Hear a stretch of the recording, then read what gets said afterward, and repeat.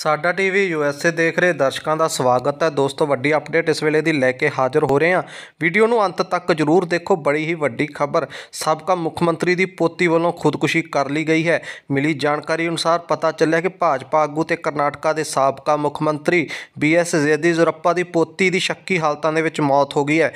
ਜਿਨ੍ਹਾਂ ਦੀ ਮੌਤ ਨੂੰ ਹੁਣ ਖੁਦਕੁਸ਼ੀ ਦਾ ਸ਼ੱਕ ਜਤਾਇਆ ਜਾ ਰਿਹਾ ਹੈ। ਪ੍ਰਾਪਤ ਜਾਣਕਾਰੀ ਮੁਤਾਬਕ ਪਤਾ ਚੱਲਿਆ ਹੈ ਕਿ ਸੌਂਦਰਿਆ ਦੀ ਖੁਦੀ- ਖੁਦਕੁਸ਼ੀ ਦੇ ਕਾਰਨ ਅਜੇ ਤੱਕ ਪਤਾ ਨਹੀਂ ਚੱਲ ਸਕੇ ਹਨ ਕਿ ਉਹਨਾਂ ਦੇ ਵੱਲੋਂ ਇੰਨਾ ਖੌਫਨਾਕ ਕਦਮ ਕਿਉਂ ਚੁੱਕਿਆ ਗਿਆ ਹੈ? ਜ਼ਿਕਰਯੋਗ ਹੈ ਕਿ ਸੌਂਦਰਿਆ ਆਪਣੇ ਪਤੀ ਦੇ ਨਾਲ ਬੈਂਗਲੁਰੂ ਵਿੱਚ ਰਹਿ ਰਹੀ ਸੀ ਤੇ ਉਹਨਾਂ ਦੇ 4 ਮਹੀਨੇ ਦਾ ਬੱਚਾ ਵੀ ਹੈ। ਖਬਰਾਂ ਮੁਤਾਬਕ ਉਹ ਗਰਭ ਅਵਸਥਾ ਤੋਂ ਬਾਅਦ ਦਿਮਾਗੀ ਤੌਰ ਤੇ ਕੁਝ ਪਰੇਸ਼ਾਨ ਰਹਿ ਰਹੀ ਸੀ ਤੇ ਉਹ ਡਿਪਰੈਸ਼ਨ ਨਾਲ ਵੀ ਜੂਝ ਰਹੀ ਸੀ। ਹਾਲਾਂਕਿ ਸੌਂਦਰਿਆ ਦਾ ਵਿਆਹ ਇੱਕ ਡਾਕਟਰ ਦੇ ਨਾਲ ਹੋਇਆ ਸੀ। ਸੌਂਦਰਿਆ ਨੇ ਅੱਜ ਸਵੇਰੇ ਆਪਣੇ ਪਤੀ ਦੇ ਕੰਮ ਤੇ ਜਾਣ ਤੋਂ ਬਾਅਦ ਸਵੇਰੇ 8 ਵਜੇ ਫਾਹਾ ਲੈ ਲਿਆ ਤੇ ਜਦੋਂ ਉਹਨਾਂ ਦੇ ਘਰ ਵਿੱਚ ਕੰਮ ਕਰਨ ਵਾਲੀ ਨੌਕਰਾਨੀ ਆਈ ਤਾਂ ਉਸ ਵੱਲੋਂ ਰੌਲਾ ਪਾ ਕੇ ਆਲੇ ਦੁਆਲੇ ਦੇ ਲੋਕਾਂ ਨੂੰ ਇਸ ਸੰਬੰਧੀ ਜਾਣਕਾਰੀ ਦਿੱਤੀ ਗਈ, ਜਿਨ੍ਹਾਂ ਵੱਲੋਂ ਫਿਰ ਪੁਲਿਸ ਨੂੰ ਬੁਲਾਇਆ ਗਿਆ ਤੇ ਪੁਲਿਸ ਵੱਲੋਂ ਮੌਕੇ ਤੇ ਪਹੁੰਚ ਕੇ ਲਾਸ਼ ਨੂੰ ਪੋਸਟਮਾਰਟਮ ਲਈ ਹਸਪਤਾਲ ਭੇਜ ਦਿੱਤਾ।